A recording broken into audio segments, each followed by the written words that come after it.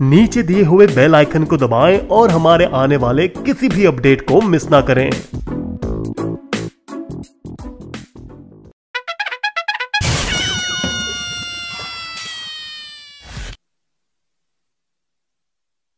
मैं तुम्हें बताना चाहता हूँ कि